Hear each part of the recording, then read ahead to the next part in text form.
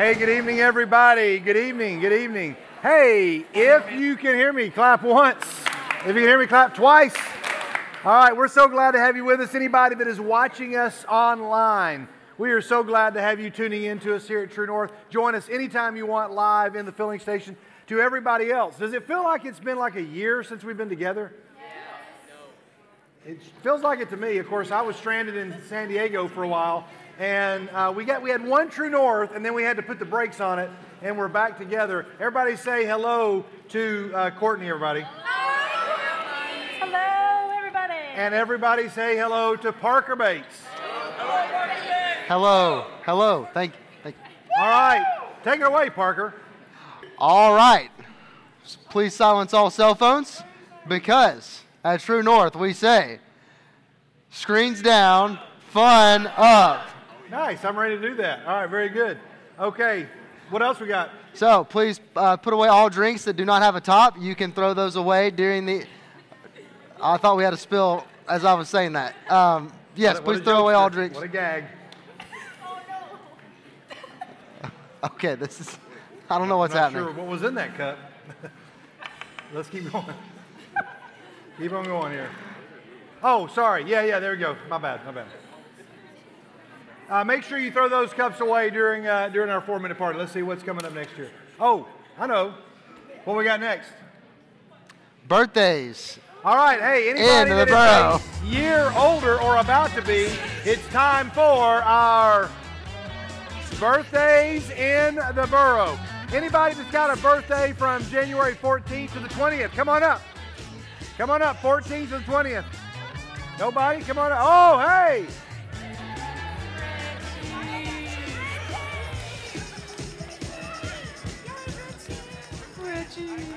Oh, you did? Hey! Our very own NBYG fan page. Doggo, is it your birthday? I mean, otherwise, why would you be here? All right, very good. Oh, you already got one? Hey, Jonathan Bolden. Jonathan Bolden's birthday. Is it today? It is today. It's right now. Very good. Come on up here, Jonathan. Come on and grab this. Everybody, a big hand for Maddox and Maddie's dad. Wow, the sharpest dressed. Sorry, he wins the sharpest dressed birthday award, guys. Sorry. Yeah, he, Sorry. he, he did dress up. But he comes in third in the coolest hair department of the birthday. But but but, but most sharp. Oh, you get two. Sorry, no, just one. Okay, we're gonna sing happy birthday to these guys right here after we've given them their Abraham Lincoln "You're Still Cool" uh, sticker. And as we sing to them, all you got to do is remember three simple words, and those words are. You're Still cool. And it goes like this. Sing it out nice Well, and you're loud. Here we go. And you're, You're still cool. Come on. You've still got it. It's plain to see. Here we go. You're still cool. Yeah, it's your birthday today. That's why we're here to say, come on, that you're still cool. Everybody say happy birthday. Congratulations, everybody. Happy birthday, Richie. Happy birthday, Jackson. Happy birthday, Jonathan. All right. Wow. Everybody's a little quiet. Have to liven things, have to liven things up. I, I never do remember to look. Oh, I know what that is. Hey, we have a uh, we have a birthday party blast from the past.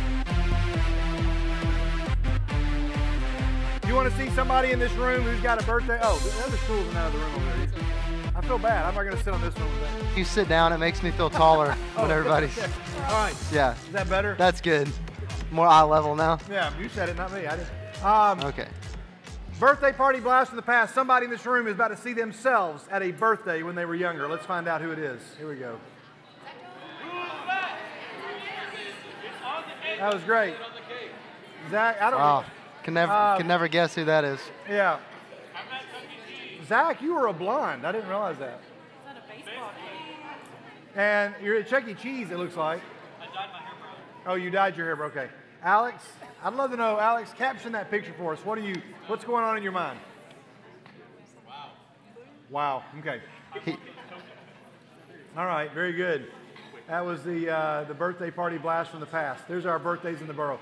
Hey, we're going to change gears here for just a second, guys. If you'll just humor us for just a moment, okay? Um, because we, we threw a, uh, threw a picture of Zach up there. Your birthday, if I understand, is July the 25th. Yes. All right. Uh, July the 25th also happens to be the same birthday as a dear friend of the NBYGs, who many of you in this room would say, I don't really know this person because it's been a couple of years since they've been able to be fully involved. But many of you, especially guys in the room, you would know uh, that July the 25th is also the birthday of one of our dear, dear friends, Randy Hobbs, who is now with Jesus and hopefully watching True North, not online, but from his heavenly reward. Um, I will do my best. Um, I, I, think I can make it, but I'm not sure that I can. Again, I'm just not going to look at a lot of pictures.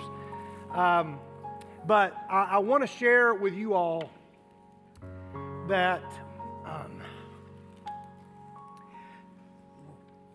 man, I, I just, it's frustrating to me that there's so many of you in the room who do not know how much this guy loved the NBYG and loved you and what he poured into it.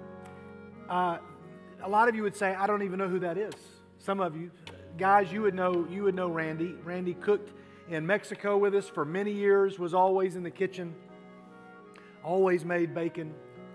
Randy was the guy that made the baked beans we had on Slick Pig Night. The awesome baked beans with the meat and the pineapple and the, I mean, they, were, they weren't just baked beans, like they were baked beans. And Randy made the dirt cake that we had at the retreat. Um, and Randy was a part of the group before I got here in 2001. There's people sitting back here that served alongside Randy um, years before I even became a part of this ministry. And Randy was the first person to knock on my door in 2001 and brought us a pineapple upside down cake on a big, huge platter that he had made. Knocked on our door, and I, at the time, I didn't even know how to work the lock on our glass, uh, you know, security door. I couldn't even get the door open, and nobody had come to our front door yet. And I had to have Randy go around to the back. We didn't have a side door at the time. And Randy went around to the back, and I'm like, sorry, I don't know how to open our door. And Randy came and uh, this is from an 80s uh, retreat that we had, which is a cool picture. Randy's great nephew was here and loved that picture, and Mike Jones was like, You like that picture? And he said, Oh, I love that picture. And Randy, uh, Mike made a poster of Randy, of this, this picture here, and rolled it up and gave it to his great nephew. And he was like, Oh, I'm going to hang this in my room. Uh, Randy loved you all so much, and yet I realize there's some of you that don't know, um, you don't know who he is. But what some of you don't know is that some of you went to Winterfest because of this man. And some of you went on fall retreats because of this guy. Whenever we did partial scholarships that we advertise, including some of you that are going on scholarship to Winterfest this year, is because Randy wrote us a check at the end of last year and let us know I want people to be able to go. You're, some of you got to go to Mexico. Some of you got to go to Impact. Some of you got to go on guys' retreats. Some of you got to participate in things that, that you had no idea where it was coming from, but it's because of the generosity of Randy, who took so many pictures and video. I'll say more about this at his celebration of life, but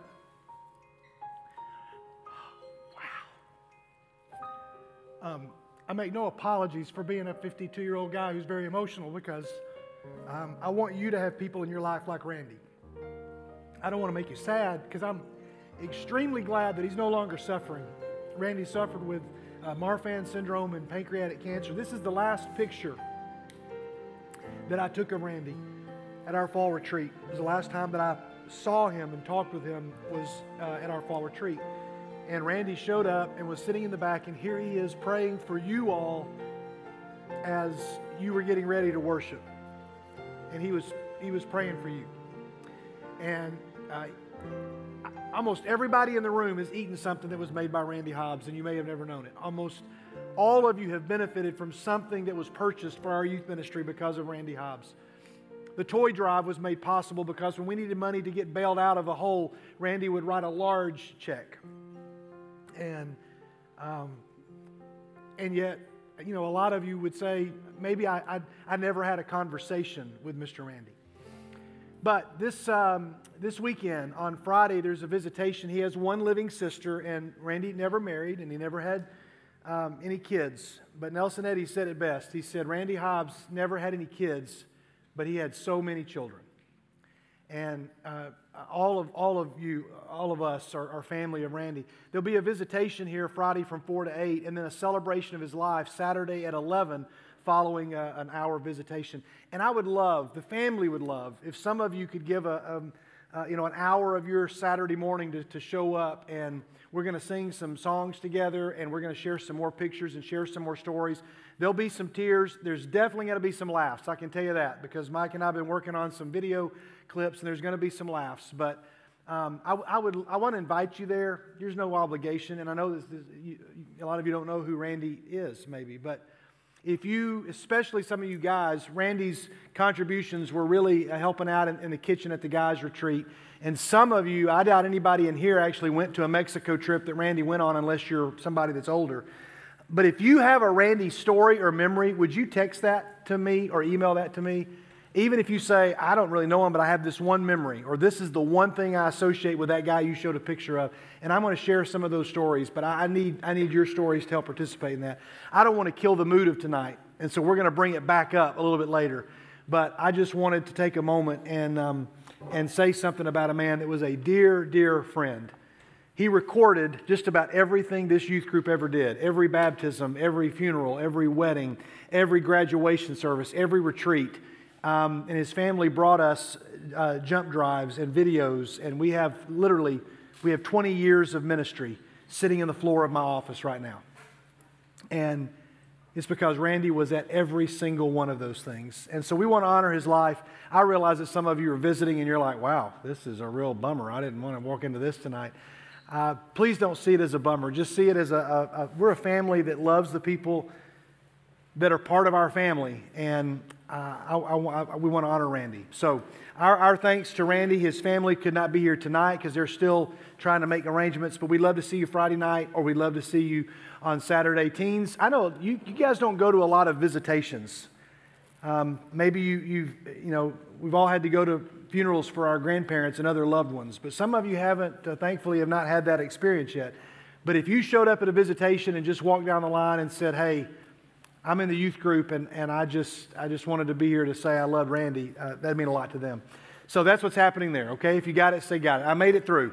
Um, and uh, we love Randy, and I'm thankful for the way that, uh, that you all loved uh, love Randy. So here's what we're going to do we're going to uh, take a pause for just a minute, and we're going to let you kind of cheer each other up. We're going to have what we call a four minute party. We have some special guests going to make an announcement after this four minute party.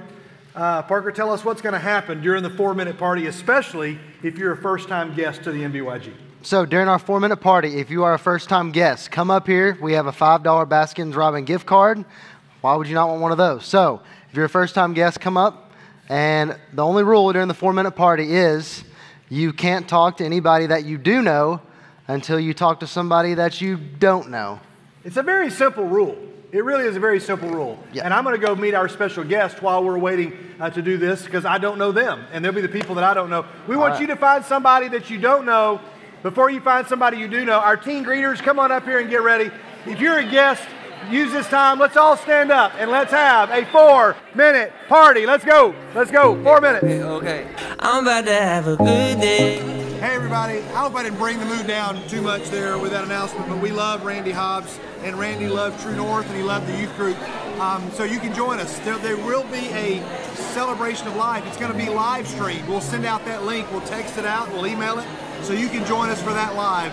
Um, but we got a big night planned, lots of fun things, a lot more laughs. So uh, stay with us, and we'll, we'll talk to you soon. Thanks. Hello. Hello, I'm David.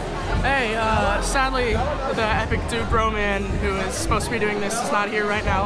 I'm Ethan and I'll be taking over for him. Uh, I'd like to just say, hi, how are you? I know the ice has been tough recently, but thankfully that's all over. Oh, by the way, you look beautiful today. Um, I can't really think of anything else other than that. You just look amazing. It's, it's incredible. Bye. Okay, hey, thank, thank you so much. Thank you so much for uh, allowing me to have that moment. I forgot one piece. I forgot one piece. We are going to live stream, thanks to our tech guys and their generosity, because it's not a part of their job. They're going to be there to uh, help uh, live stream Randy's service. So, any of you watching online, we're going to send a link out and anybody that is, has uh, uh, older siblings or other family members, we can send that out so that service will be available for you to watch online live and after the fact. So there we go. All right, We have some special guests we want you to meet, but first, we want you to, uh, to watch this. Check it out. A generation waits for us to make a decision. What will we give our lives for? So many things compete to take the center in our lives. Some of them good, some of them bad. Yet when we gain them, something is still missing. Because fulfillment can only be found when we are fulfilled by Jesus. And we can only find our purpose when we respond to the greatest need. The need Jesus saw and responded to humanity. We don't have a marketing campaign, only a question. Almost half the world has no access to the gospel. A generation is in need. What's your response?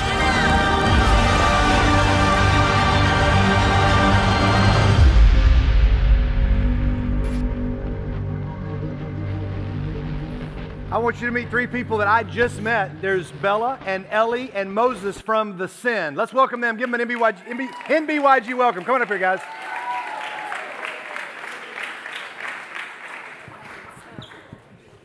There you go. All right. Uh, welcome. We're glad that you're here. Thank you All right. so uh, tell us who you are and why you're here tonight. Everybody, give them your uh, utmost attention, please. All right, I'm Ellie, and tonight I'm here. I'm actually a high school student as well. And I am just here because my heart burns for Gen Z and to, to see Gen Z living an intimate relationship with the Lord, not just on Wednesdays and not just leaning on your lovely youth pastor or your pastor on Sundays, but actually to live in relationship with Jesus daily. Um, and I just want to remind you guys that. Um, well, a show of hands, who here knows what the Great Commission is? Do any of you guys know? I know it talked about that in that video. Yeah, I just want to read it real quick, but it's Matthew 28 18. All authority in heaven and on earth has been given to me. Therefore, go making and make disciples of all nations, baptizing them in the name of the Father and the Son and of the Holy Spirit, and teaching them to obey everything I've commanded you. And truly, I am with you always to the end of the end of the very age. And I just want to encourage you guys that this is your permission slip to go. Notice how it doesn't just say your youth pastor, it doesn't just say your teachers or whatnot. It literally it says that we have the permission to go to our friends, to our family, to the people in the stores, literally wherever we are. We get to share the goodness of God. And I just want to let you guys know that like the statistics of our generation say that we're a biblically illiterate generation, but I know God has something else in store for our generation. And that's where the Send comes in handy. But on February 3rd, there will be a gathering at Bridgestone Arena. Um, and yeah, it's, um, it's basically just a stadium gathering, and it's all about reaching Gen Z with the gospel and reaching them with the Great Commission and sending them forth into that. So we just wanted to invite you guys to that. Um, and also this Saturday, the 27th, um, at Mr. Mr. Curry Peacock's um, barn, Right. we are having a worship and prayer night and just casting vision for our generation and for the Send. And would love it if you guys could come on out and yeah, see you there. But yeah, yeah. That's going to be the 27th, which is Saturday night, and it's going to be what you see here a Gen Z uh, rally sponsored by the Send to kind of promote what's going to happen in February at Bridgestone, right? Yes. All right, what else you want to tell us about it? Yeah, so the send, what's so crazy so far, um, just to give you guys some context for what God has already been doing in the Nashville and the Tennessee area. So on the 3rd, we already have 10,000 people who are going to come to the send. And we're hoping to literally, that we're just going to fill that arena. We're going to worship Jesus. It's a 10 hour event. And I would really encourage you guys to bring your family members, bring your unsaved friends, whoever it is, because the send is for everyone. The whole point that we gather together is to equip people to be able to see salvations and healings, and then sending people out with new relationships with Jesus. And really, it's just the send has been amazing. The send personally changed my life. Um, I went to a send gathering in Kansas City actually in 2022. It was at um, Arrowhead Stadium where the Chiefs play, which is crazy. I think it was like 36,000 people came together to worship, and it was just so beautiful. And from that moment, my heart was marked for missions, and now I'm living as an active missionary, and I'm only 18 years old. And so I just want to give you guys permission that you're not too young. There isn't, you don't have to graduate high school, you don't have to do all of these things to be able to be a missionary or to even just reach your friends with the gospel. You can do that exactly where you are, right here, right now. And Jesus isn't asking for your perfection, He isn't asking you to do everything perfectly. He's simply asking for your yes. And the send is really just communicating that. So we would love it if you would join us on February 3rd at the Send, and then also this Saturday on the 27th at Mr. Curry's farm. And we'll send out more info to you as well with the address so you can do that. Moses, you got anything you want to add? I love the send. Uh, you're from Thompson Station, you said. Girls here are from Washington State. Yeah. Right? Okay. And are you a part of how many people are on your team? You have yeah. a Yeah, so the Send team has a lot of different people and multiple organizations all together because we all have the same heart. And the heartbeat is really the Great Commission and the last things that Jesus commanded us as disciples um, is to make more disciples, to go into all the world. And so what she read, Matthew 28 18. Um, and so it's just basically a lot of people with that heart and ministries like YWAM, uh, Circuit Riders, Carry the Love, um, and us actually we're a 50 state tour team, just our team. We're going to go to all 50 states in the next eight months um, to preach the gospel and the Great Commission to activate Gen Z into a, hopefully a missions movement out of America. So that's kind of our heart as well. And so, yeah, we're just really excited for what God's been doing the last few days and what He's going to do through this end. So, Well, we yeah. can. I don't know if it's just. Surely, I'm not the only one that can hear their heart and their passion. I'm just thinking, what would a room full of people with this heart and this passion uh, be like? And some of you are probably thinking, "Oh yeah, man, that is awesome," and others of you are like, "Wait, oh, uh, okay, I'm. Uh, that is, you know, they, they, they are they are in this too much." Well, follow them. Uh, there you go. Follow follow their lead. We're glad to have you guys here. You have a final final word. Yeah, Yeah, we're, we're just going to pray us. Yeah. but Lord God, we just thank you. We thank you for this generation and that you have a different word for us, God. We thank you that you are setting a fire in our hearts to reach the lost and just to meet with you, King Jesus. We thank you. We thank you for the send. We thank you that all is to come on February 3rd and January 27th, and that you would just meet hearts so divinely, God, and just that you would break the normality of Gen Z being a depressed generation or an anxiety and anxious generation, but actually we would be a generation with joy living and running out of our bellies, Lord. God, we thank you. We thank you, and we honor you in Jesus' mighty name. Amen. Such, Amen. Such an honor to just be able to share this with you guys and hope to see you there. It's going to be a grand old party. Hey, NBYG, let's share our thanks to Bella and Ellie and Moses. Good job, y'all. Thank you so much for being here. We appreciate it. Thank you. Very good. Yep, I get it. Yeah, thanks so much. Nice job. All right. Wow, that was awesome to have them there. Hey, here's what we're going to do. Let's do this. Uh, we have a couple more announcements, and then in just a minute, guys, we're going to. Um, we're gonna we're gonna skip a, a, a, a bunch of things, uh, Elijah, and we'll, we'll I'll cue you in here in just a second. But uh, we'll po- uh, post some information about that rally out at the Curry Peacock Farm. It's where our fireworks of Palooza has been, so you guys already know how to get out there. But that's going to be on uh, on Saturday night. Okay. Hey, today's Wednesday, tomorrow's Thursday, and that means what, Courtney? Panera. All you girls out there, 7th to 12th grade, please come meet us at Panera on Memorial tomorrow at 4 o'clock for Bible study and some good food. It is, we've been having some really good conversation, and I cannot wait to see you all there. All right, that's coming up uh, this week. Hey, February is right around the corner. So, two things that means. Two things that means. One, one, uh, not one of our, you know, b- maybe biggest um, uh, uh, evangelistic events, but it could be. If you invited somebody who just needed to hang out, we're going to be in here on Sunday, February the 2nd, 11th, February the 11th, that's right, um, at 5 p.m. We're going to meet in here for our Super Bowl party. That'll be preceded by our Winterfest chaperone meeting. And then we're going to hang out here, watch the game, have an open gym, bring your friends. It's going to be an incredible night. That's going to get us set up for, you know what, everybody, it's getting closer and closer and closer. Here we are. Okay. Right now, we have, I believe, maybe 14 spots available. 13. 13. We have 13 spots remaining for Winterfest. If you know somebody that wants to go, we still have 13 spots. Now's the time to decide.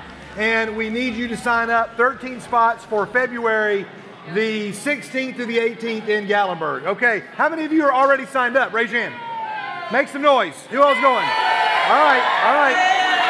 Hey, we we want you to go. We want you to go. And if there is a reason that you're not going and you feel comfortable sharing that with us, let us know. We'll do whatever we can to get you there. We want you to be there. Okay. All right. We got a, we got a few minutes, so we'll do this. We, we need to laugh a little bit. I brought everybody down. Maybe not down, but I just kind of, we need to raise the bar a little bit. Can we do that? Uh, let's do this. Let's take a few moments to, oh, wait, what's that doing there? I don't know. I didn't, okay, I'm sorry. I, Oh. I have no idea how these things keep getting hijacked, these pictures. who keeps putting the pictures no, of me? Now wait a minute. We're, we're booing my granddaughter? Is that what's oh, happening? oh no. I no, they weren't saying woo. I have access. I have access to the Winterfest sign-up sheet. I can delete. There we go. All right, all right. I have no idea how that got there. Let's look at some real picks of the week. Here we go. All right, our picks of the week. Oh, I'm already feeling bad about this one. I'm sorry. Oh, my. Uh, the first one is uh, I laughed a little bit harder than I should have. There's two of them. Here we go. I laughed harder than I should have. Watch out. You're chopping. Get out of the way. Get out of the way. Get out of the way. Get out of the way. Okay. That guy was in the wrong place at the wrong time. Hey, how many of you have, uh, who's got AirPods? How many of you have lost your AirPods at least once? Okay, I'm not going to ask you who has AirPods in right now is not listening to anything that we're saying, but um, yeah, there we go. But check this out. Check this out. Wow, this is bad news. Not sure I'd ever wear it again.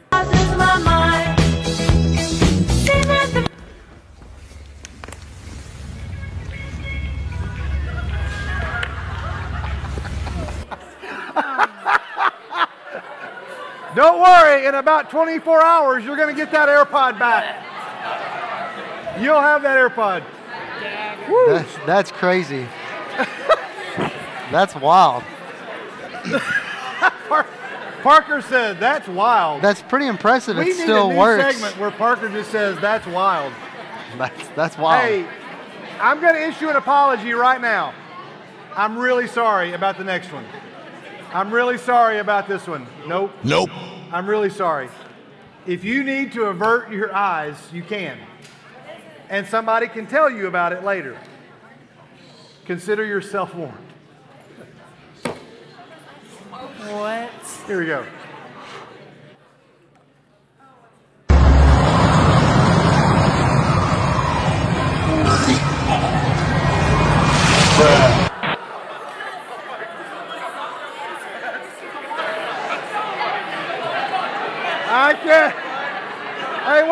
Wait, wait. I'm curious. I'm curious. I'm, I'm dying to know.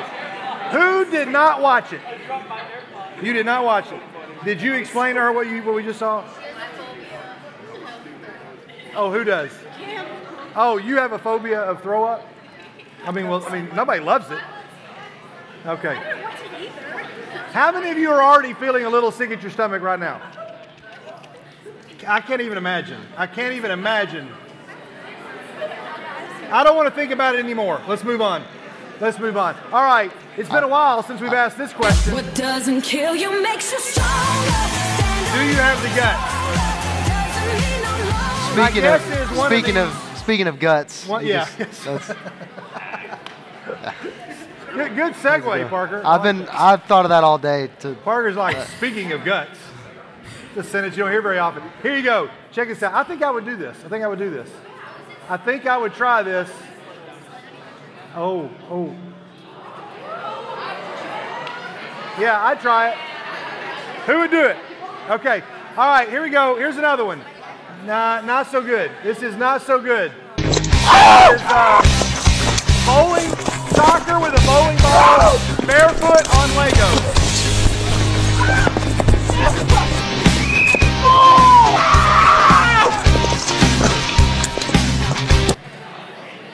Hey, you know the most amazing thing about that clip? What? Guys, truly, let me tell you, the most amazing thing about that clip is that I listened to it carefully before I showed it. And there's not one Shiloh word that is said. Nobody says a Shiloh word. That's a you know, word that you probably shouldn't say. I don't know that I could do that because the only thing that has really tested my language in 52 years of existence is walking into a playroom barefoot with my girls' Legos on the floor. Um, and that's the only thing that will make me want to say words that probably shouldn't be said. There you go. You ever you have Legos in your house? We just started this Christmas with Oh. Legos. I've stepped on one already. Yeah, watch out. Can you imagine playing bowling ball soccer? At what, what point do you have to to be at to come up with that game? I don't know. That- I I have no idea. All right, we're going to rate this in. Rate this in. Here we go. Check it out. We've only got one. Here's the sin. Oh, he's juggling.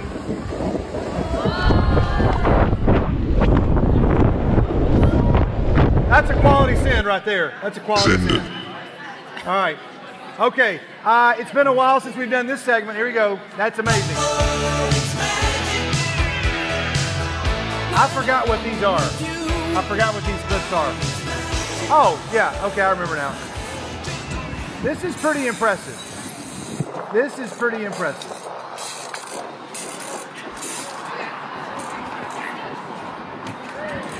I get scared for this man just watching.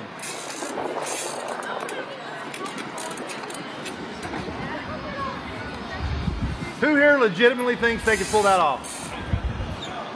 All right. Oh, Angelo and, and, and Alex, can you pull? Okay. Now, what if? How how wide do you think that board is?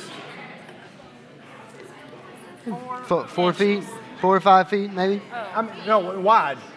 Four, four feet. Oh, oh, Yeah. um, Yeah, it's probably I thought you meant between each. maybe like four inches. I don't know.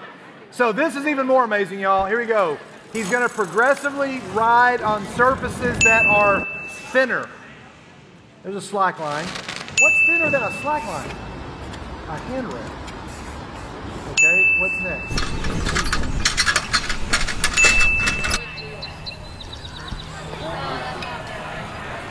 I don't even know that I believe that. I don't even know that I believe that. There you go. Okay, all right, here we go. Something that escalated quickly.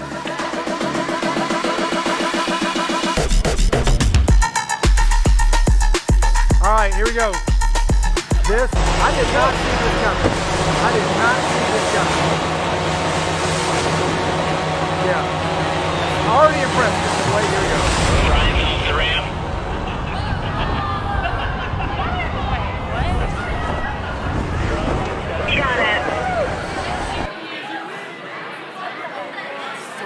That escalated quickly. That did. That that's amazing.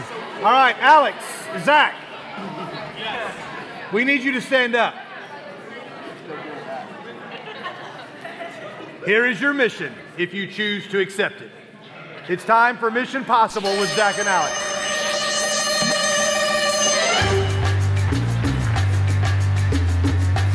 All right, first of all, name a candy that you all like that you'd like to be on the line for this next challenge.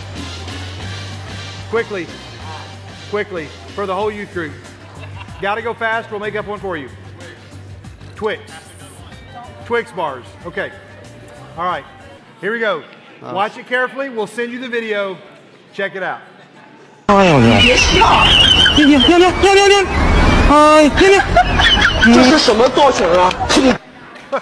All right, there. Alex is way too excited. Zach's like, nope, nope. All right, there you go. That is your challenge. Mission uh, possible with Zach and Alex. All right, you guys have a seat. Who thinks they can pull it off? I think they can. You guys get to work on that. Hey, we have something that is a really big deal.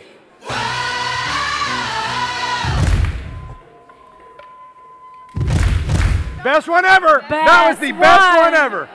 Very In the good. whole history of the, our youth group, that was the best job ever. I commend you. Hey, big deal, everybody. And I believe she's sitting right over there. We have a member of the Thousand Career Point Club, AC, Anna Clay. A thousand points. Uh, there it is. And and uh, she's got two two and a half more years to play. two and a half more years to play. Uh, Ellie, so uh, I mean Ellie. I'm sorry, Anna Clay. Sorry, I did it. I didn't mean to. Anna Oh. Clay. Here's what I understand happened. You went to a game as a child and saw somebody enter the thousand point club, and you told somebody in your family, that's going to be me. Is that kind of the way that went down? Who did you, who did you say that to? Okay, and you're like, I want to do, that's what I want to do right there. Okay, um, pretty impressive. And uh, did this start? I know you started playing as an eighth grader on the varsity team, uh, and this is in, in th- two and a half seasons you've accomplished this. That's pretty awesome. Big hand for AC. Good job. Good job, AC. That's exciting. Okay, all right. Hey, let's uh, let's skip the next thing. Let's go straight to our slide about our meeting. We're going to uh, we'll come back to, to that next week. But let's go right back to our slide for our meeting. Everybody, this is going to now happen this Sunday. Okay, have some fun pictures to show you. Our our thank you. Our informational meeting for our Mexico trip is going to be Sunday, January the 28th, 4:30 to 6. It is a mandatory meeting in the sense as much as we can make it. First priority is given to people who are at this meeting. I'll let you know if there's space issues. First priority goes to people who come to this meeting uh, from 4:30 to 6, and we're going to talk about what's ha- involved in the trip. You have to have completed the 10th grade by the time the trip happens in the summer. So current 10th graders, 11th graders, and 12th graders. In the event that there's not enough people, then it may be spots available for some of those that have finished the ninth grade, but that's not happened in the last several years and not likely to happen this year. If you got it, say got it. Yes. I want to tell you one of the coolest things that happened while we were there. There was there are several students that have been taking a photography class. This picture was taken by Yoleth, one of the students. She's actually a college age student, so we can show her picture. And she took this photograph of the uh, ocean there near Ensenada. And we all went in to see uh, some of their art on display. This is one of the guys that sponsors Yoleth, and here's the picture. And he was like, Man, I would love to have a copy of that picture. And one of our leaders said, Well, how much would you pay for it? And he said, Oh, I don't know. I'd, somebody else said, I'll give you 50 bucks for it. Well, then they started bidding. Jason Gent is an auctioneer by trade, and so he started an auction. And they began to auction off all of the pictures of these kids, uh, which they would then sign a limited edition one out of one. Because there's only one of these pictures. Here's a video of $20 this where? moment. 20 to 20, 20, anybody want 20? Would you give 20 now 30? 30 now 40 to 40 to 40, anybody want that 40? Would you This give is 40, a 40, picture 40, of 40 a- now a 50, fruit 50, 50, that is want that native 50? to Would you give a 50, 50, 50, Mexico, anybody want that 50? Would you give a 50? Amy Self 40 now 50, really 50, wanted this 50, picture for her 50, kitchen. now 60, now 60, now 60. Anybody want that 60, 60 now 70, 60 now 70, now 70, now 70. Would you give a 70, 70, 70? Anybody want that 70? Would you give a 70, 70, 70? Anybody want it at a 70? 70 now, 80, 80, 80, 80 now, now, what did you say? 100, 100 now, 110. 100 now, 110. Anybody want it at 110? Would you give 110? 110, 110. Anybody want it at 110? I've sold it for $100. That particular picture sold for $100, but then uh, there were pictures that sold for upwards of $400. One went for $500. Uh, all in all, about the 10 pictures, they made over $3,600 for the home because somebody had a joke and thought I would try to auction off this picture, and everybody kept trying to outbid each other. And watching these kids who took these pictures see their art sell for three and four hundred dollars was really, really, really a cool thing. So. Uh, there we go. So there's that meeting coming up on Sunday. If you have questions, you can talk to us afterwards. Guys, we're going to skip to the renew video. If you'll take us straight to that, we're going to get ready to transition to sing. Singers, if you guys are coming, take your place and get ready. And uh, let's just click right over and remind ourselves of something we're doing in 2024. Play that little clip there. There we go. Let's watch this together. You all know that in 2024, we are challenging the NBYG, your parents, families, siblings, to be renewed by reading the New Testament in 2024. And uh, to do that, we have uh, printed up some bookmarks that you actually have in your seats. If you don't need one of those, leave it there. We'll collect them. There's some on the tables for those of you that want them. If you need an extra one, grab one. But one per person, or if you want to take one to a family member, that would be great. All right, Parker, you have already, we've already started reading this week. We're supposed to have read Mark 1 through 5, 6 through 10, and this week we're on 11 uh, through 16. All right? Um, I don't want to put you all on the spot, but uh, you guys been reading? Okay. Yes. So, real quick, Parker, give us a, a 30 second insight. What have you learned by spending time in the Gospel of Mark over the past couple of weeks? Well, uh, one thing I like action movies, um, and if there was ever a action movie or or highlight film of Jesus, it would be Mark. Uh, there's a lot of action you talked about in the uh, your Instagram video about at once or immediately. There's a lot of stuff happening. Um, so that's been really fun to read Mark consecutively through. Um, and, and so, yeah, I've, it surprised me um, how much you can read in a short amount of time. So, You read the first week's reading, chapters one through five. You said in 12 minutes, yes. and that was. And you said you were, you know, conservatively, you know, regular pace reader. I wouldn't say I'm a super fast reader. So, for those of you out there, it might give you some hope. So if anybody says, "Wait a minute, we missed last week because of snow. We're already two weeks in. We're in the third week. I'm already behind." It's not going to take you more than 36 minutes. I guarantee you that some of you spent 36 minutes on a phone or looking at a screen, watching a movie, listening to music, playing a video game. You can spend 36 minutes in, uh, in Mark. Courtney, you spent some time in Mark this, this month? Yes, I did. All right, what's one takeaway that you got? I love just going going back through and like every time you read, you know, the Bible's living. So every time you read, you're gathering something new. And there were several things that I was just like, I forgot this was in there. And I just, I don't know, it's just part of the story that you just get to put little pieces back together that you've kind of forgotten about. I spent some time in a D group going through one of my favorite stories from Mark, the second chapter, uh, and just I loved reading it again. And I found some things new that even after years of reading it, I haven't seen. Guys, you can do this. You can do this. And if you say, I can't do it or I'm not going to do it, then there's not a lot that we can say right here that's going to take your life in a positive direction. I don't want to guilt you for not doing it. I'm just going to beg you and implore you and invite you to spend some time in God's Word. This bookmark will help you. This week we're on Mark 11 through 16. I'm not going to ask every week, but I will ask this week how many of you have at least started? You've read one chapter of the New Testament in 2024. If you, if you, if you started, that's a great start. And all we're going to ask is that you can read that, you can listen to it.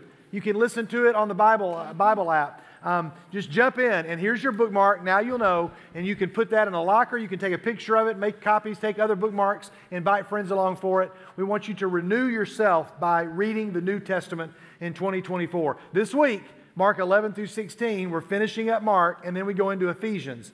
And just so you know, we're not reading it in order, of course, obviously. We're trying to spread the Gospels out and read other parts. So, there you go. All right, if you got it, say got it. Hey, we're going to spend a few minutes singing together. We had a lot of stuff to, to cover tonight. You've been very patient, but we want to be able to worship together. So let's all stand up together uh, and know that your prayer requests are being prayed over in that room right over there by Miss Sharon. We're going to sing a few songs together tonight, and then we'll um, continue on with our series. Let's sing together.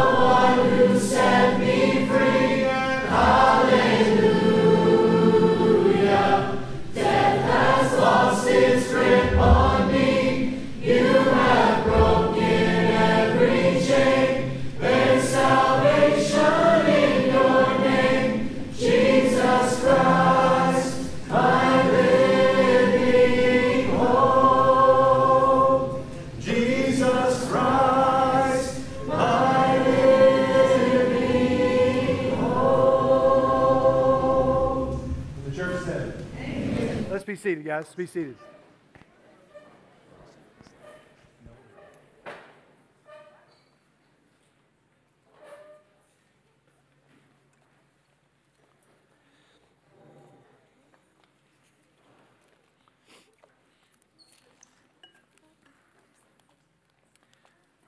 We want to welcome those who are joining us online and who may have uh, skipped ahead to, uh, to this portion. We'd love for you to go back and check out more of what's happened tonight. Lots of things have been talked about, prayed about.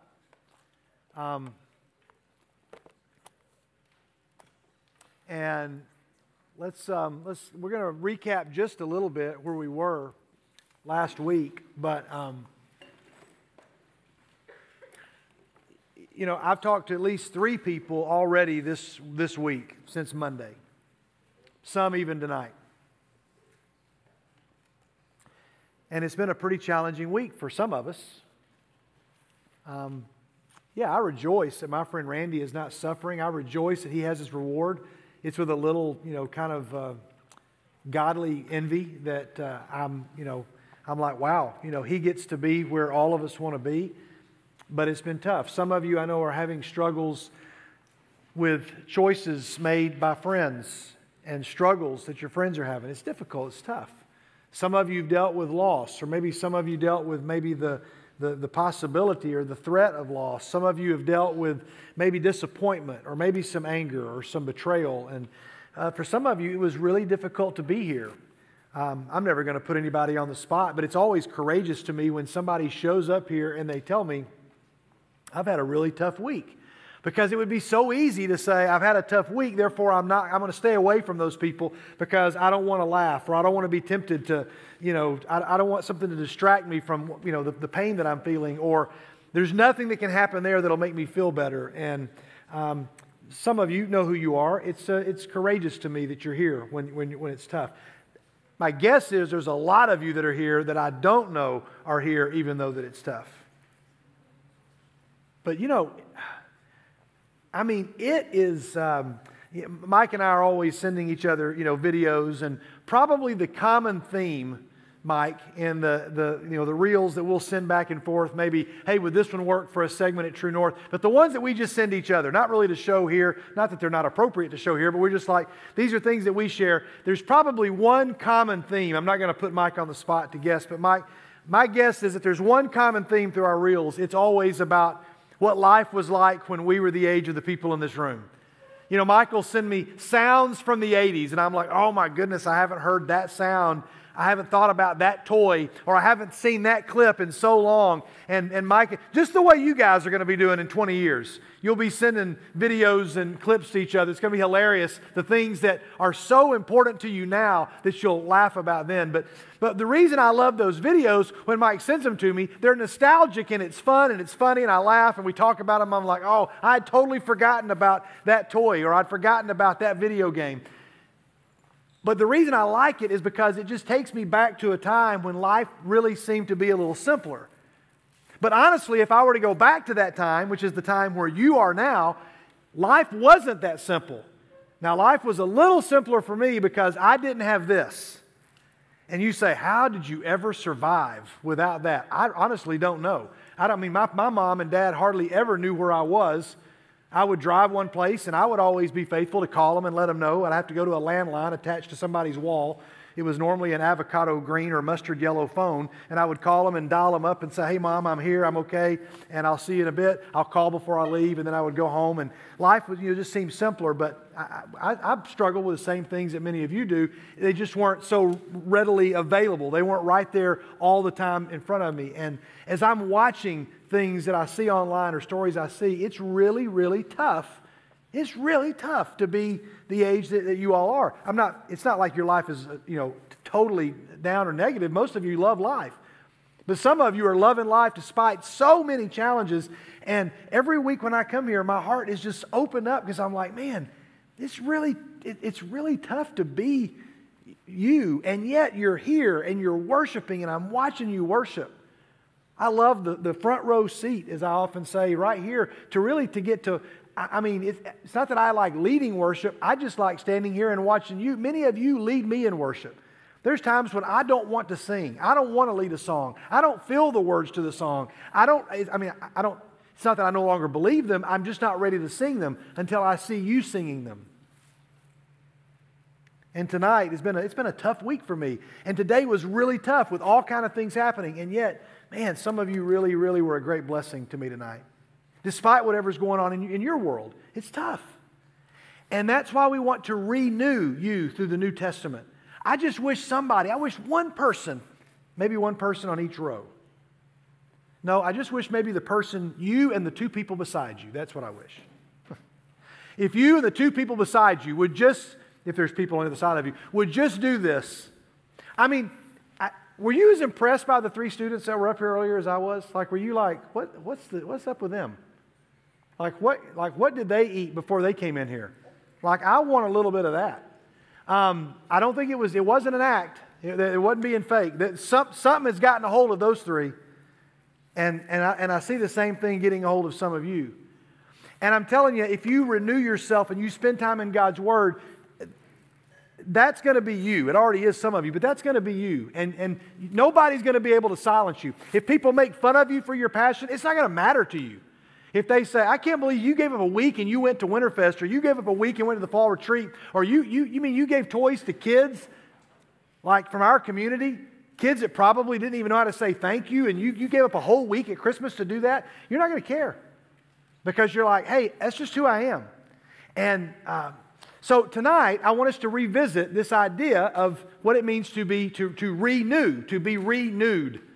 And we spent some time, I'm not going to really review, but remember two weeks ago we talked about the hashtag classic stories made modern, like Great Expectations, a Midsummer Night's meme, and Sense and Oversensitivity. I'm not going to show all of them, but just taking an old story and trying to put it into a modern context. And we had some fun with that. Some of you sent me some, and they were great. But how do we take a classic, how do we take this book, and how do we make it relevant? How do we make this book relevant? I, have told the story before, and I'm not going to tell the entire story now, but I've told the story before of, of uh, years ago. This happened about three, four years ago. Um, and we were at a D group, and we were sitting at, at, at a restaurant, and we had the Bible uh, open, and we were studying it. And I invited a stranger to come and sit with us, a guy that worked there at Bojangles. I invited him to come over and sit with us. And he did something that completely rocked my whole wide world. His name was Tony, and the reason I invited him over is because nobody at the table was listening to anything that I had to say. I mean, I think the world, a hole could have swallowed me into the ground, and nobody at the table would have noticed I was gone, I think. And I was like, guys, let's get focused. Guys, come on, let's focus. Guys, come on, come on. And nobody was paying attention. So I finally said, hey, Tony. I actually, I'd say, Tony. I said, hey, you, what's your name? And he was like, me? And he said, yeah, Tony. And I invited Tony to come over. Tony is an African American gentleman. He was about my age, or maybe a little, little younger, actually, but, but, but older. And he came over and he uh, sat at our table, and he, he obviously worked at Bojangles. He had on an apron. And, and I said, Tony, what's the most interesting thing about you? And all the guys got real quiet. They're like, You can't talk to a complete stranger? You invited a complete stranger to our table? You can't do that. And I was like, Well, guys, you guys go, keep ignoring me. You were doing a great job of before. I'll just talk to Tony. And but all the guys were listening, and Tony, I, th- I know I've shared this with you before, maybe here, but Tony said the most interesting thing about him was that he played football for MTSU. And I said, Cool, what was your biggest moment? He said, Well, I once intercepted a, a ball um, and ran it uh, 98 yards the wrong direction for a safety and made national television. And I was like, and the guys were like, Oh my goodness, that's, that's terrible. That's hilarious, but it's terrible. And then Tony said, You really want to know what the most interesting thing about me is? And I said, uh, Well, sure. And it got really serious. I want you to listen. I want you to lock into this because, I mean, I've done ministry for a long time. I've lived a long time. And this, this is one of those things that imprinted on my heart. Tony said, um, when I was uh, not, not long ago, not, not that long ago, uh, he said, um, but when I was a teenager, he said, my sister was killed by a drunk driver. And he said, and I gave up on God because I thought if God's going to allow that to happen, I'm giving up on him.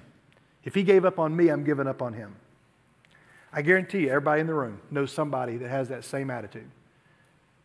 And my guess is there's somebody even sitting in here that has the same, the same temptations. And you need to know you're in the right place. You need to know that it's totally natural to feel that. The one speaking to you has felt that and is probably going to feel it at some other time in my life. That's why we come here to be reminded that we, you know, we got each other. But he said, and I, and I walked away from God. And he said, I was away from God for a long, long time. He said, until I noticed that um, about three months ago, he said, I noticed a group of guys sitting here with this book open and talking about it and quiet and focused. And I was like, What night was that, Tony? I don't remember that night. And he said, Everybody was talking about it. And he said, And for three, three months ago, I noticed they were sitting there. And he said, There's a group of guys that are all the same age as I was when my sister was killed by a drunk driver. And I just watched because I thought, Wait a minute, those guys, they must believe something in that book that I've forgotten about. They must really believe it because uh, I gave, I closed it up. He said, I, I wanted nothing to do with this book until I saw a bunch of guys that were the age I was when I quit believing and walked away from God. And they're like, what, what have they seen that I haven't seen? And I had seen Tony sitting over there for the past several months. For three months, he had sat there at a table for about 30 minutes. He'd come out with flour all over his uh, apron, and he would sit down with his hat turned around backwards, and he'd be on his phone. And he said, and about three months ago, I asked my manager if I could take my break from 7:30 to 8 so that I could sit there and just listen to what, what, what you guys were saying because I thought there's something that they get about this that I haven't yet gotten. And he said, and so I listened for 30 minutes every week, and I realized he'd been sitting there. And I said, I thought you were on your phone. He said, I was just holding my phone, but I was never on my phone. I was listening to what you guys were saying because I wanted to know what is it, what, what, what had I missed? And Tony sat there and talked to us, and it was just an incredible moment where I realized that one, we were being watched, not, we were not doing what we did to be seen, but we were being watched. Does that make sense? And I thought, Tony, um, you know, these guys are, are, they're all dealing with struggles just like you did. There's some of them that aren't sure they believe. And there are some of them that are tempted to walk away, including the ones sitting here trying to lead them. And, and I just thought, it, it, you know, it makes a difference. And it made a difference for Tony. You know, I still see Tony. The guys that I meet with now, they don't know Tony all that well. Tony has, is still there and he's still busy in the back and he comes out and joins us every now and then. But for Tony, it was like these guys made this classic story they made it modern. Like it, it must mean something in 2000, and at the time it was like 2019 or so when this happened. He's like, it means something. And, and so we spent some time in the book of Colossians a couple weeks ago. You've been reading the book of Mark. You're about to read Ephesians. And some of you are going to be tempted to say, this is old news. This is all old history. And so we looked at this passage, and I see Sam in the back. Sam was here. Sam brought his golf bag. You guys remember two weeks ago? And in the golf bag, he had one club. Well, he had lots of clubs, but I asked him a question Sam, could you golf 18 holes with just one club? And Sam said, I, I mean, if I had to, I could. But remember all the things that he said would change about the game? You guys remember that long list we made? If you weren't here, it'd be really um, uh, in your best interest to go back and log in and look at that list that we generated. some of you generated it over a course of me talking to some people asking, what would it be like? The game would be less fun. You get way more frustrated. And as I listened to that list, I thought, that's what it's got to feel like to try to be a teenager and to just, to just try to, to, to not have all of the clubs that are found in the pages of this book, to not be equipped with those. If you say, well, what is the one club? I don't mean you just have, I'm not trying to name the one club. I'm just saying you, you don't have any tools. You just got either no clubs. He certainly couldn't golf 18 holes with no clubs, but he could maybe get by with one. But I'm like, this book is going to give you all of these clubs so that when you have a friend who's in need, you're like, I know what to do here. When you have your parents that aren't getting along and you're trying to pray for them, I know what to pray for. When you have somebody and you're trying to deal with a breakup, you're like, I know how to respond to this in a way that's godly. When your boyfriend or girlfriend is putting temptations in front of you, you're like, I know how to respond here. When the language around your lunch table is not, you go, I know what to do. I got a club for that. When you're with somebody and you're like, you know what? Whenever I'm with this person, they take me further and further away from who I'm supposed to be. You got a club for that. You're ready to go. And if you watch Sam or anybody that golfs, golf, you watch them look, survey where they're going, they look at the hole, they look where the ball is, they look and they realize, okay, I know which club to go and get. But if you've only got one club, you're like, you know, there's no way I can make this with this club. I'm stuck with this club. And some of you are trying to get through life. The reason you're angry, the reason you're frustrated, the reason you're full of doubts, it's not because there's something wrong with you. It's because you got a golf bag that's got no clubs in it. It's not that somebody made you wrong. It's not that there's something fundamentally uh, messed up about you. It's that you don't have all the, all the tools that you need. And so we looked at them. They're all right here. And so I'm going to give you a this is like that, and then I want you to hear from a couple of students here in just a second that help illustrate this. So I'm always looking for ways that help illustrate some truth that I don't know how to understand. You guys know we've done this before, and we use this phrase all the time here because Jesus used it. Jesus would say things like, the kingdom of God is like, or he would say, in the same way, and then he explains some truth. So I'm going to take something that you all probably experience every week, many of you, and I'm going to try to connect it. I don't know that I can, but maybe, maybe you'll follow this. So I'm watching a YouTube video recently, and the YouTube video I was watching, I'm not uh, too ashamed of my nerdiness. I was watching a recap of Loki season two. Anybody here seen Loki? Anybody watch Loki? Anybody seen season one and two of Loki? Anybody watch season two of Loki and wonder if there has to be a person who is a believer that had anything to do with writing the script for that? Because to me, there were some obvious moments where somebody was trying to take what appeared to me to be the gospel story and weave it in. I could be wrong. I could be seeing it through the wrong filter. But I just thought this is somebody who really has some connection to what's in here because there's a whole lot of this story that appeared in the last season. So I'm watching this YouTube video, okay? Loki season two, Easter eggs we missed the first time. How many of you have ever watched an Easter egg uh, video or some sort of synopsis of a TV show, right? Let's don't be afraid to admit it. And you go online and you're like, I want to get a breakdown of a trailer. You guys are watching breakdowns of trailers. You know the way I broke down a trailer when I was in true story in the sixth grade? I went to my friend Jeff Elliott's house with a cassette recorder I got at Radio Shack, and we waited and waited and waited until the Return of the Jedi trailer came on, and we hit record as soon as it came on, and we recorded it by holding it up to the TV. This sounds so geeky as I'm saying it. And then we recorded it, and then we stopped it, and then we went back and we played it over and over, and we kind of got all the, we couldn't get online to watch it. We didn't have a VCR to record it. We just had an audio recording. We're like, what is that? I wonder what that guy does. I wonder what that means. Who's that guy? What, was, what were they shooting at? What kind of spaceship is that? And we broke that trailer down. Now, the minute a trailer airs, I can get online and, and watch a trailer breakdown. But you guys have done this, right? Now, here's what I'm doing I'm watching this video, trying to pick, pick, pick out some of the Easter eggs that I missed. And then I put my cursor down here at the bottom. Okay, you guys see now the cursor there at the bottom? And you guys see, what, why does it look like mountains there? Somebody tell me, what's going on there? Why does it look like a, a mountain? Uh, yeah, say it again. Okay, replay. What do you mean? Explain it. Yeah, okay, very good. As I'm moving my cursor around, I get down here to detail number eight. I don't remember what it was, but you see the spike right there, and it says that five minutes and 47 seconds. This is the most replayed part of this whole thing. Everybody with me so far? If you're with me, say I got it. And as I'm watching it, I'm like, well, I got to see what that's about. So I scroll through there and I'm like, I'll watch that. I don't have time to watch 10 minutes of this. I got things to do. I got retreat stuff to plan and Winterfest things, and I got stuff to do. I got to like pray for y'all and stuff. So I'm like, I don't have time to watch all this. Um, and I still haven't finished this video, not because I was praying for y'all. I did that, but other things as well. And then I get to this video and I'm like, okay, five minutes. And now I'm watching this and I'm thinking, okay, let's imagine if I had 2023, Skid's 2023. And let's imagine if we got Eli's 2023. And we're going to scroll through, and I just would like for you to imagine where, where do you think those spikes would be? What's, what's the most replayed moment of, your, of last year for you? You say, I don't know what you mean. Somebody, this is where I need you to help us. We, got, we only got a handful of time, and um, I, want to get, I want to end with a testimony here in just a second.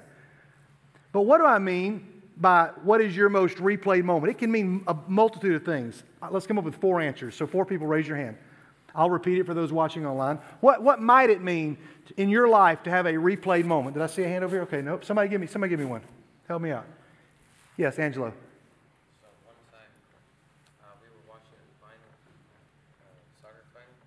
Okay. Okay.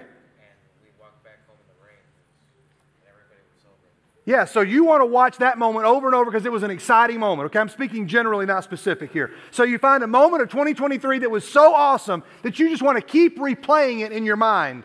And you're like, man, I want to go back and just think about that moment over and over and over and keep watching, okay? Very good. Somebody else, what's another reason that you might go and have a replayed moment in your, in your life, okay? Yes? I'm not talking about a specific moment. I'm talking about, but why, why was that a moment you want to replay?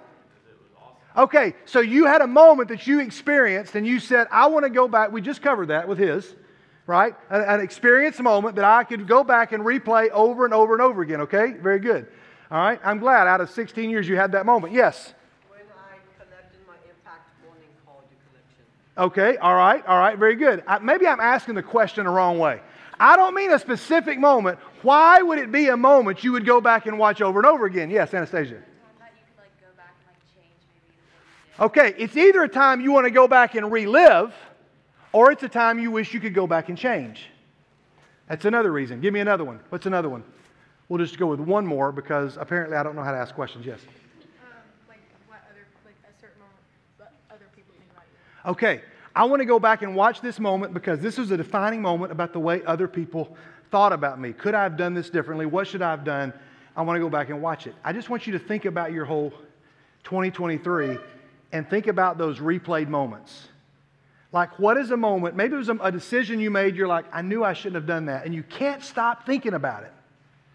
Hey, for some of you, your most replayed moment, you know what it is? It's that thing that somebody said to you that you can't let go of.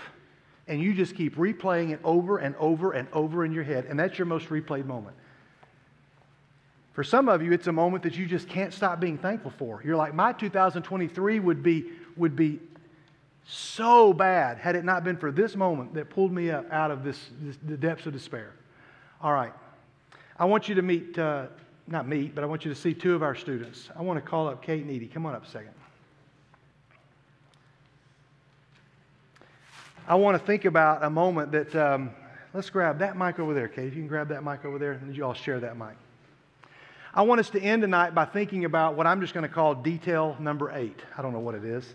I don't remember what detail number eight in the Loki, I have no idea. I've never finished this video. I just took screenshots of it because I thought this is a way to illustrate. You had a moment when we did this, uh, this series. The first part of Colossians says, Devote yourselves to prayer. So, this is the first club. Now, listen carefully. I know some of you already kind of tuned out. Some of you are like, I don't, I don't understand this. Um, that's okay. Just try to get through life without this club. You, you, you can't. You can either trust me or you, you can not trust me. I, I, you know, I don't need to be right. I have no desire to be right. I just know that, not because I'm right, I know this is true because I believe this. The, the club you need is to devote yourselves to prayer. And he says, being watchful and thankful. This word for devoted means great effort steadily applied. It's not my definition, it's a Greek word that means great effort steadily applied. And he says, I want you to be devoted in prayer, being watchful and thankful, because 32 times in all of Paul's letters, he talks about gratitude. 32 times. That's, that's, a most, that's a replayed moment, guys. That's a most replayed moment, is just gratitude in your life. Okay, and then he says, um, and, uh, and, and pray for us. Now, we finished this series that took a long time last semester, the series on Nehemiah. And it took a long time because there was a lot to talk about in. And we talked about, we had these bricks, but some of you still have your bricks. Come and get them. I had a conversation with a student who said, Hey, I just want you to know that I know we got that stack of bricks, and you may have felt like that was like, you know, maybe you, you don't know how that went, but I called a friend that was going through some stuff and they were really struggling, and I did not know what to say to them, but I just got my brick and I just started turning that brick over and reading everything on that brick and talking to them. And they were like, Man, that is so helpful. Where, where, are, you, where are you getting this information? And they're like, We're talking about this every Wednesday night.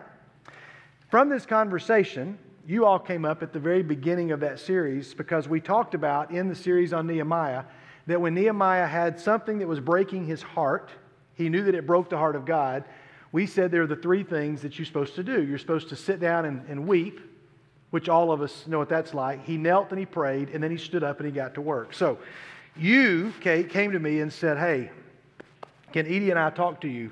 Just give us a quick recap of that conversation back then, back in the last semester. So back in I don't know what month it was, but um, we came and talked to Skid, and like we had already decided that we were going to pray for four months, but we kind of filled Skid in on the situation and just some heavy things in senior year that were kind of weighing on us. And so we just kind of said, hey, we're like committing to these four months of prayer like Nehemiah. Um, it was actually Edie's idea. Um, she wasn't even here the night that Skid presented that to us. But she said, hey, why don't we just commit? And I was like, okay. So we committed, and yeah. So, Edie, four months from that night, do you remember the date that you wrote down? You guys actually told me a date. You said, here's the four month mark. Yeah, our date was uh, January 4th. So right. that would have been September. I don't know how to do math. Yeah, it was sometime September in yeah August September yeah. yeah. And then um, so you wrote down January 4th, mm-hmm. and you said we're we're just gonna we're just gonna pray and we're gonna wait. We're, we're I mean if something happens before then great, but we, we are committing to four months. If Nehemiah did it, we're gonna do it. Um, and I know of two other students in here that told me the same thing that they they did the same kind of challenge, picked a date very similar because it was around the same time. So you had four months. Now, uh, January 4th was just, uh, that was uh, 20 days ago. Really hard to believe that January 4th was 20 days ago, almost a month ago. Yeah. And we were supposed to talk about it the first True North, but then we didn't have time to, and then we got snowed out, so now we're here. So you now you had two weeks to reflect on it. Four months and almost five months later, you guys prayed about some, some specific things that were burdening your heart because they broke the heart of God. And I just said, I don't even really know the answer to this exactly, but I just said, would you all give us a quick report? Tell us what you experienced over four months. Yeah, I would say um, the situation definitely I've seen God's hand in that. And I think that the biggest change has been in my heart, and I think Kate agrees, like in our hearts, is where the biggest change has come from because having that um, routine of praying for the same thing every day. It's the the word you had up earlier where it said dedicated. Like you're steadily applying that pressure, and it it might not feel like a lot of progress at first, but working towards that and just having that on your mind every night or day or whatever is really impactful. Um, I definitely noticed um, a complete change in the way that I was viewing um, all the situations we were playing, praying for. I became a lot more grateful and joyful, and I could definitely see God basically everywhere in that situation. Um, and that was incredible. Um, I would say the biggest thing I learned is when you're praying in alignment with God's word, it completely changes your heart to be more like Christ. Yeah, now notice what she says. No focus on the thing you were praying about changing. I mean, you said you saw some changes, but that but you said, she just said the biggest change I saw was in your own heart. hmm Um, guys, you need to know this. Prayer sometimes changes things. Sometimes it will change things, but it will always change you. Prayer sometimes changes things, but it will always change you. Kate, I want to give you a word. What did you notice that is maybe the same or different than what Edie saw? So, as I've been reflecting on this the past couple weeks, one of the biggest things I've been thinking about, I think four months is probably the longest time I've ever committed to anything. I mean, like in the past, I've done a word of the year and other similar things, but nothing that's required a, like a four month daily commitment. And so, I think one thing I was thinking about is like, wow, like when I'm um, showing myself, like showing the Lord that I'm committing every day, I think one of the biggest things I noticed was like seeing that faithfulness from the Lord in my own life. I, I know it was there the whole time, but just the ways that I've been able to pick up on that have been even more special. And I've actually started a five year prayer journal. And so there's um, five like paragraph spots on every page of the journal. And so you fill out one page for every day. And so obviously I'm just in the first year right now. I'm only a couple weeks in because I started on January 1st. But starting January 1st of 2025, I'll be able to each day read through, read back through what I was praying for this time last year. And so I think that's really special and just I'm excited um, like just seeing the way the Lord worked over those that 4 month period of time. I think it's going to be even more special through the next 5 years. I, I was just so blessed to say, hey, it's January 4th, like uh, you got a report. And they both said over and over, you know, yes, the thing we prayed about changed. But that, that just became something, that just became a, a, a dessert. The main course was it changed us. It changed the way we saw the situation. It changed the people, our attitude towards the people we were praying for. It changed our attitude towards prayer itself. So, uh, a 45 second story while you all stay right here. A story that's made up, but sounds very much like your story. A guy goes to God and he says, God, you got anything that you need me to do? And God says, Yes, I need you to go out in the back of this field and I want you to find this rock and I want you to push against this rock. And the guy says, Yes, Lord. The send, right? I'm sent. He went out and starts pushing the rock, and he starts pushing that rock, and he can't get it to go anywhere, and he thinks, maybe I should get other people. God says, no, no, no, I need you to push the rock. So he pushes the rock, and he pushes it, and he pushes it, and he gets worn out. So he goes home, he tries the next day, pushes and pushes, and he thinks, I know enough about pushing a rock that if I keep pushing this rock, eventually it's probably going to budge. So he tries it a couple of days, couple of weeks, weeks turn into months. He's pushing this rock, and he's worn out. Now he's getting frustrated. And he goes back and he says, God, I've been pushing this rock, and nothing is happening. God says, I need you to push the rock. He goes and he keeps pushing, he keeps pushing. Six months go by, a year goes by, and he finally says, God, he walks up and says, God, I can't do this. Nothing has happened. And God says, Yes. He says, God, I cannot do what you asked me to do. I couldn't do it. He goes, What do you mean you can't do it? You are doing it. You have been doing it. You've done it. He says, What do you mean? He says, Go look. And he says, There's no, the rock is still there. God says, I didn't ask you to move the rock. I asked you to push the rock. Like, God, why would you ask me to push a rock that wasn't going to move? And he says, Because I don't need that rock to move. I need something bigger to move, and I needed you to be strong and ready for when that moment came. And so now that you pushed against this rock for a whole year, now you have all the muscles you're going to need to move this bigger thing that I'm going to need you to do. And guys, that's what happened to these two girls. Is they said, "We see something that we cannot move." And God said, "I just need you to push it." And just push on this rock. And like, God, the rock's not moving. He says, I didn't ask you to move it.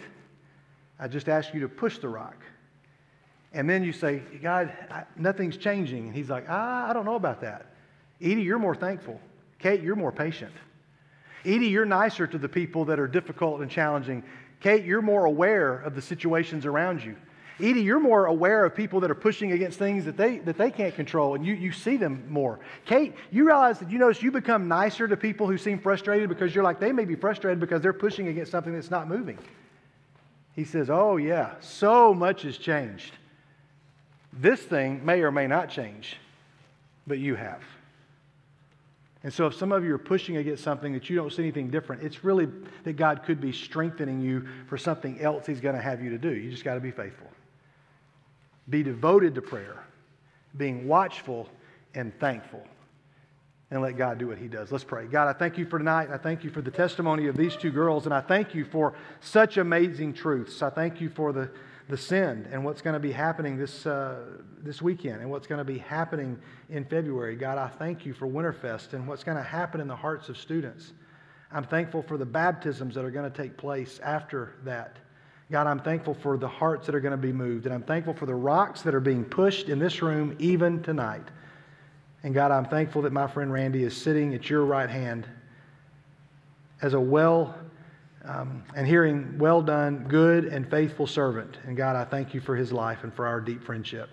I thank you for these girls and for their leadership and their example. And God, may they just remind, if nobody listens to a word that, that, that, that I shared, may they hear their sisters, may they hear their peers say, to just keep doing and being faithful to what God has called you to do. And God, you'll take care of those things that we have no control over. What a, oh man, I need to hear that and thankful for those that do. And it's through Jesus we pray, and we all say together, Amen. God bless you guys. Have a great night. Have a great night. Hey, let's thank Kate and Edie, y'all. Thank them. That was a great job.